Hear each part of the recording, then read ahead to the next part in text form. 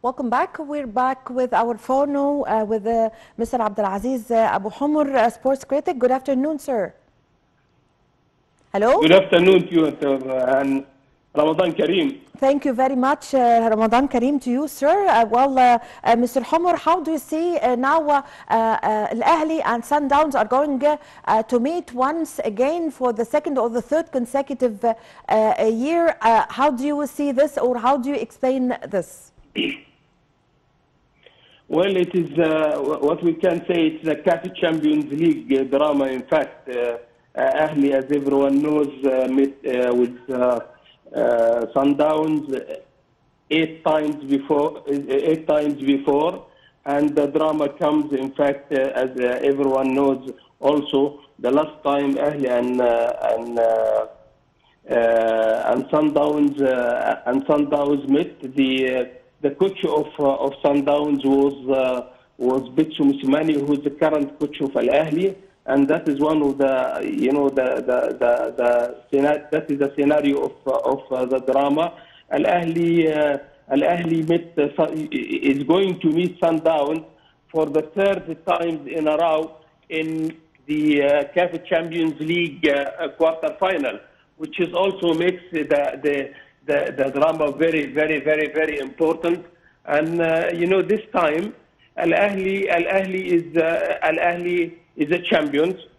Al Ahly is the CAF Champions League uh, uh, champion. And uh, hopefully Al Ahly can uh, drive his way through.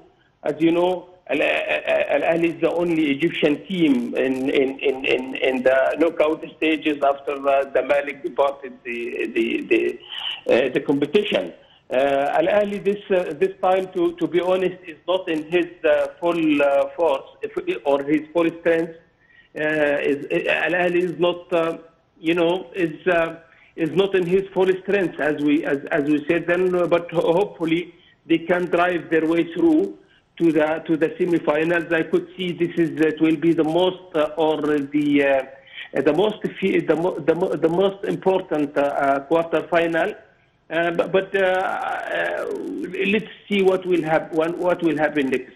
Yes, um, um, sir, you've just mentioned um, the uh, um, Mosimane was training the uh, Sundowns for six years in um, uh, South Africa, and he's uh, also uh, uh, a South African. So, could this uh, uh, give uh, Mosimane a chance uh, to know the secrets and the, keys for uh, uh, the uh, Sundowns team?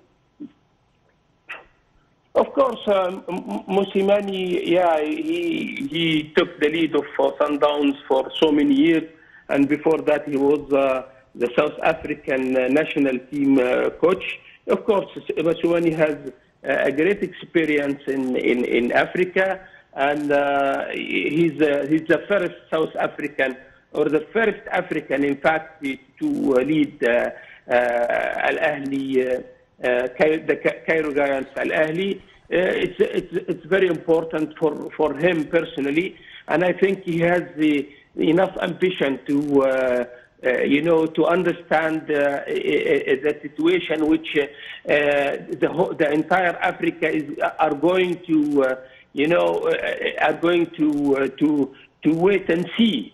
Yes, uh, uh, it is uh, it is uh, something. Uh, as we said, it is drama. It is uh, it is his previous uh, uh, uh, club. It is in fact it's not only his previous club. He played for Sundowns. He coached Sundowns uh, for so many years. He played against uh, against uh, Ahli, and he himself, you know, uh, uh, uh, could uh, uh, fire Ahli out of the competition the, uh, in 2018, if we are not mistaken. And uh, yes, it will be it will be a good experience for him. It will be a, a, a drama for him. And now the South African uh, South African newspaper they started uh, a lot of uh, speculations. Uh, what will happen next? I guess it is. It's also very important. It is not a Mosimane show. It's important for Al Ahly to keep uh, his lead in the in in the in the African uh, uh, competition.